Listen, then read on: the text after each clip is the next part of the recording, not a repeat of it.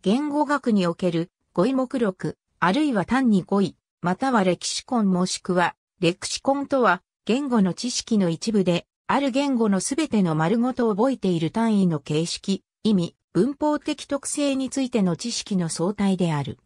語彙目録に載っているそれぞれの語や、形態素のことを語彙項目という。各語彙項目についての情報を語彙記載項目という。語彙目録は辞書とも呼ばれる。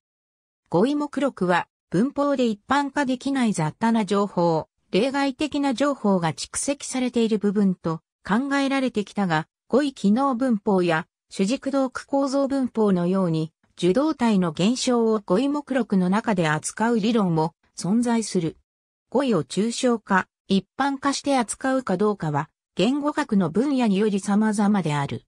一例を挙げると、生成文法では文法の特に統合について文は名詞句動詞句といったような品詞の語の並びである、といったようにして、語を品詞に抽象化、一般化して扱う傾向が強い。